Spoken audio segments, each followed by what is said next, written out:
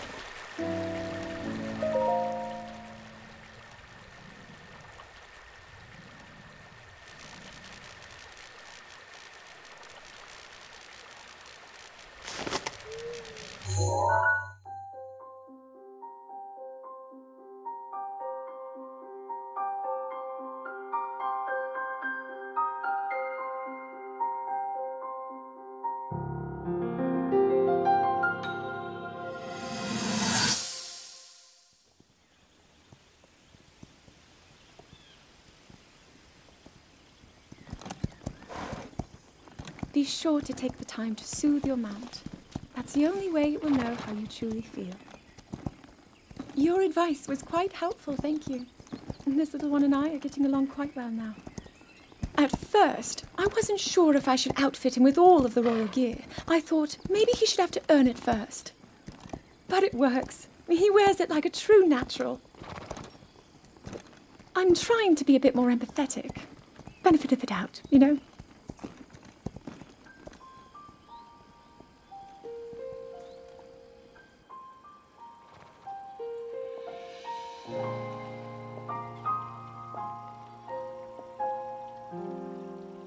See that mountain? That's Mount Lanayru. It takes its name from the goddess of wisdom. Lanayru's decree is very specific. It says no one is allowed under the age of 17. For only the wise are permitted a place upon the mountain. I've prayed at the spring of courage and at the spring of power, yet neither awoke anything inside me. But maybe up there.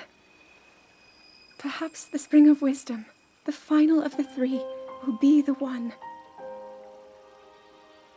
To be honest, I have no real reason to think that will be the case. But there's always the chance that the next moment will change everything. Tomorrow is my 17th birthday. So then I shall go and make my way up the mountain.